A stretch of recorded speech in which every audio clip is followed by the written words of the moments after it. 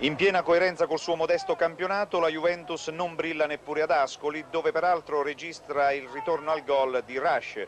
Al Del Duca la partita finisce con un pareggio sostanzialmente giusto, con i marchigiani subito in vantaggio con un gran gol di Giovannelli che spedisce all'incrocio l'appoggio di Carrillo.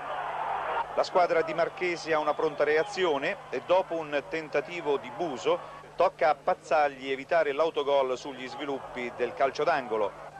Rush non conclude un gran numero di De Agostini, poi si rifà poco dopo la mezz'ora su pasticcio della difesa locale, tocca alle spalle di Pazzagli anticipando Bruno.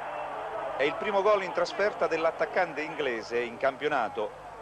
Nelle battute finali Giovannelli ci riprova, ma questa volta Tacconi vola a deviare. All'inizio della ripresa tocca a Pazzagli compiere una prodezza per evitare l'autogol su punizione di Favero. Poi è sempre Giovannelli, in un Ascoli privo di Casagrande e di altri due titolari, ad impegnare Tacconi. Il portiere si ripete poco dopo, deviando su Agostini smarcato al tiro da Greco. Scarafoni, dopo una serie di rimpalli, spedisce fuori.